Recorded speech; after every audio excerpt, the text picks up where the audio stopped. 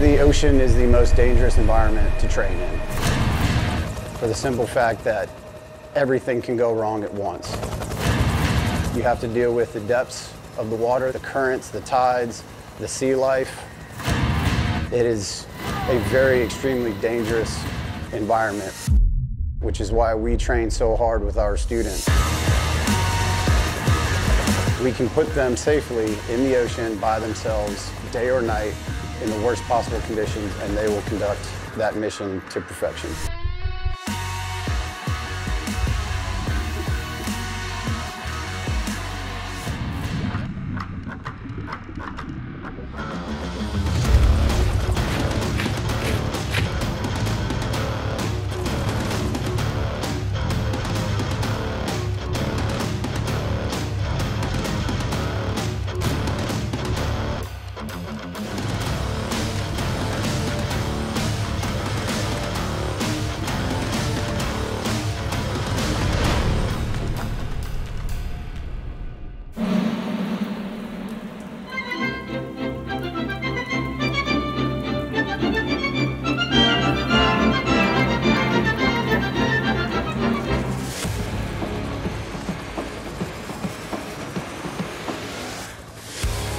Right guys, we're here at the Special Forces Underwater Operations School. We're gonna be observing the Combat Diver Qualification course. Really excited to be out here in beautiful Key West, Florida. This course is considered one of the most difficult schools that you can go to, one of the hardest badges to earn in the US military. It taxes you not only physically, not only mentally, there's just no room for letting anybody through but the best because ultimately the ocean doesn't care about your feelings, the ocean doesn't care about whether you are good at something or not good at something. One of the instructors already told us that like, hey, Big Blue don't care.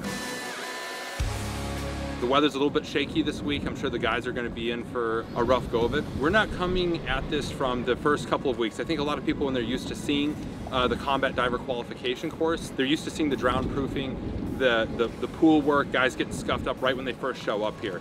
Uh, that's not the case. We're coming in at the end of the course where everything's coming together, where they start implementing the tactics as well as their knowledge of diving and their knowledge of waterborne operations all into one cohesive package to be effective when they go back to their special forces dive team or their ranger unit or, or wherever they're coming from.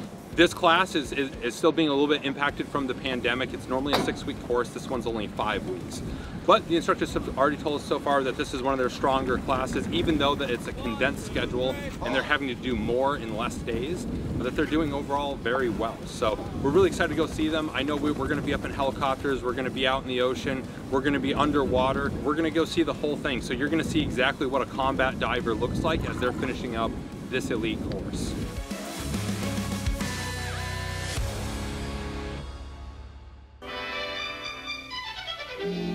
Although the study of underwater diving techniques is not a required part of the training program at Bad Tölz, 100% of the men here have volunteered to add skin diving to their list of specialties. Combat diving originated from the OSS after World War II. Practicing switching aqualungs underwater helps to develop a sense of discipline under artificially severe conditions. They saw the need for an underwater infiltration method to get into denied areas, and that blossomed into what we are today.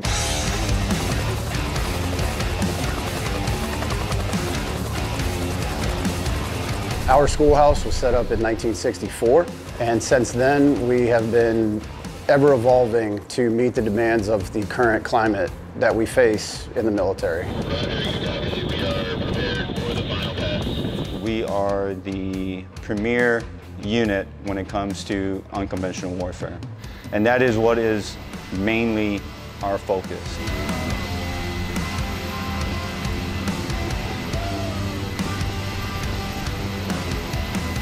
The more and more we shift our focus from a landlocked operation to the near peer, the relevancy of combat diving becomes greater and greater.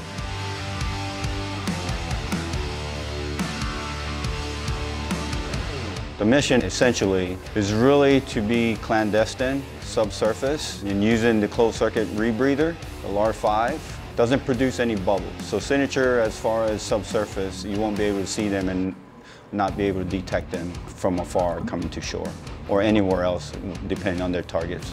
We're going to start this voyage from where it began. You gotta have a really good mental game. If you're mentally weak, um, you can be as strong as an ox, fast as a gazelle, but mentally, if you're not just right there, you, you won't be able to pass this course. 80% of passing this course is mental, 20% is physical. This is probably one of, if not the hardest school in the Army.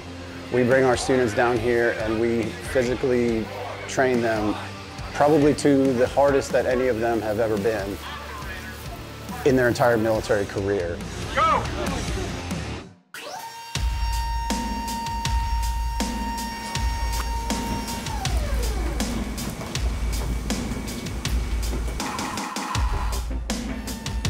So what is it like to actually execute one?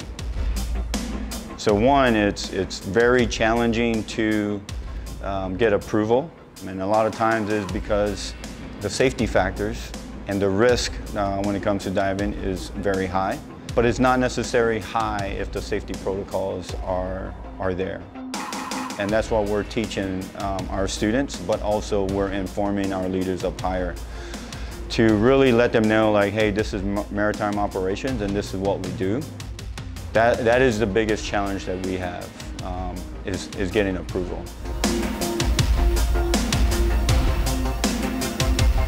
It actually all starts with pre-mission training. So as soon as a team gets the word that, hey, we have a potential dive mission to conduct, immediately the entire team goes into that, that planning phase.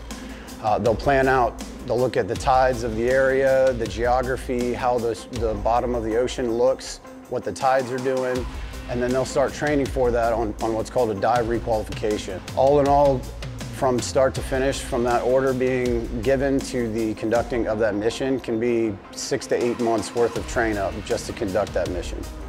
It's very important for that train up because this is truly the one time where a commander does not have any control or communication with his team while they're subsurface. Give it a little tug.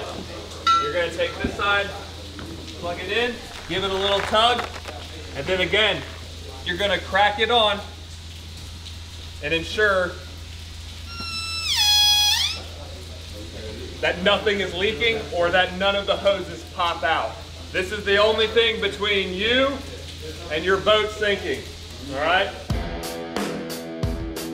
Right now what we have going on is we're constructing our combat rubber raiding craft. The versions that we have here are the wing boats. And so the configuration that we're going to be constructing them in is going to be roll duck configuration. So that way we're able to push these out of a UH-60 helicopter. We're going to jump in after it, and then we're going to unfold these and inflate them utilizing our single 80 tanks. Right now, we're constructing them, and we're going to check them to ensure that we don't have any failed inflations out on the water, because that could be the most detrimental part to our mission in the maritime environment. Check it out. Scheme of maneuver for today, all right, it's going to be slick, combat equipment, rolled duck. Everybody good with that? So our first iteration or our first lift is obviously going to be slick. I'm going to get all of the CDQC guys out of the bird first. So that's going to be nine total personnel and one UH-60, nine in the other. It's to be tight, all right? But that's the way we have to do it, so that way we can actually hit the time that we need on the timeline and get done before this weather comes in. All right, so we're out here uh, about 25 miles off of Key West. We're watching the CDQC students. They're coming in from the island on Blackhawk helicopters. They're gonna helocast into the ocean in, in their wing boats. They're at the point in the course now where everything's starting to come together. They're confident in the water. They're uh, bringing what they've learned about operating the ocean together with tactics.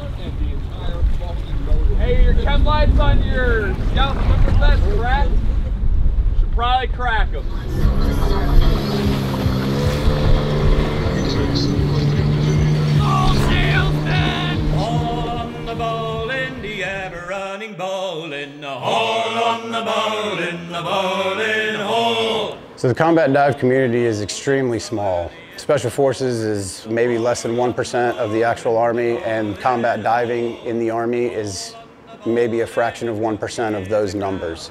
We have an extremely small community, and everyone is truly a brother to each other. We have guys who come back here after being retired for 20 years, and they can still see their plaques on the wall and remember their time here at dive school. The camaraderie of being a combat diver doesn't stop when you retire. You know, your, your chest sticks out a little bit once you get that bubble, and you know you're part of an extremely special community.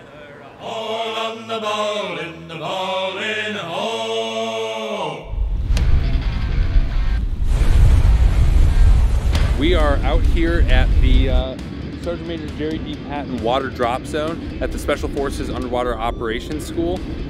We're getting into the thick of some of the more heavier tactics here. The students right now are traveling about 1.5 kilometers, about 1,500 meters off of the, the shoreline here. And they're gonna drop in, go subsurface, infill into about 250 meters or so. They're gonna pop up, check out the, the, the beach line here. And then from there, they're gonna send two swimmers forward to secure the beachhead, establish comms, and then uh, signal for the thumbs up for the rest of them to come on and, uh, and take the beach here. So should be a pretty cool little uh, exercise here. We're gonna be positioned right here uh, with them to see them come up over the beach and, and take the beach. So really excited to see what these guys pull off. All right, gentlemen, let's go. One at a time, okay? Clear the water. Clear the water. Clear the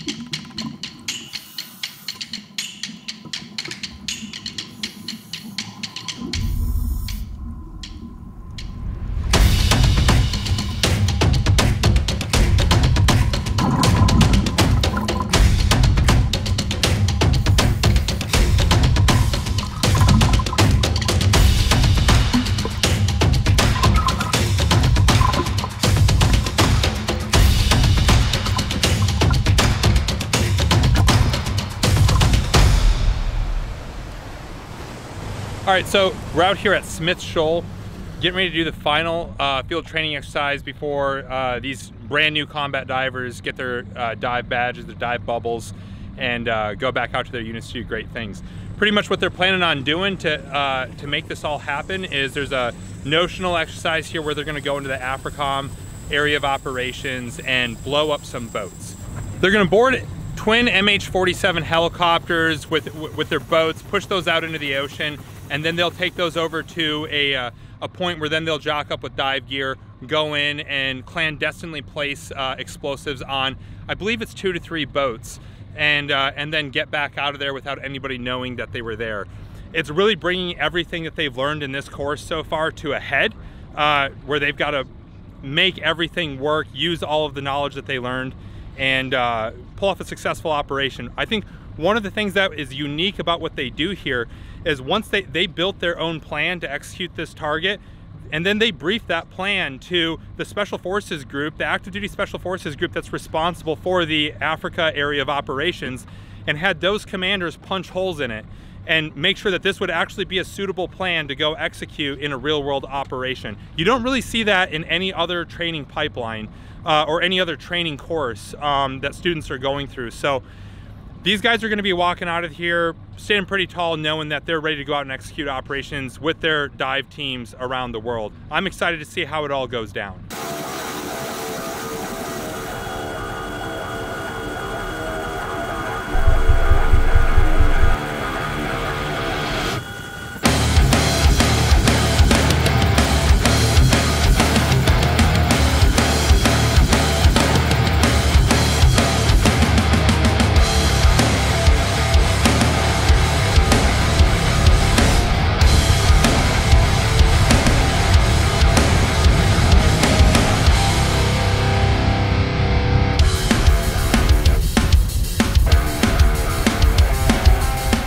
Very typical in what they would do. Sabotage is something that we're trying to teach and get out there in the force now that MAROP operations is growing exponentially in our AOs, uh, specifically in the Africa set, the Southcom, uh, uh, South America subset 407 group, and Southeast Asia. So this is a this is something that typically you could see. It's been a while since we've done it, um, but we're trying to teach our students that, and hopefully they can take that lessons uh, that they learn here back to their teams on operational uh, groups.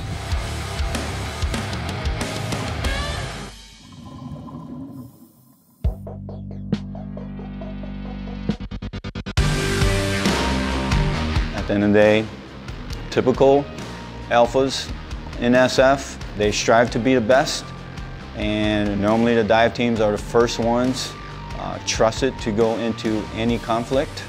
And you can go as far as Desert Storm where a lot of the dive teams were the first teams on the ground even though we never did any type of diving. And I think leaders look at dive teams to where they're physically fit. Two they're hungry very aggressive not taking away from any other ODA that's out there. But at the end of the day you can count on 12 guys to go and conduct a mission, whether it be water or land, and they'll do the right thing.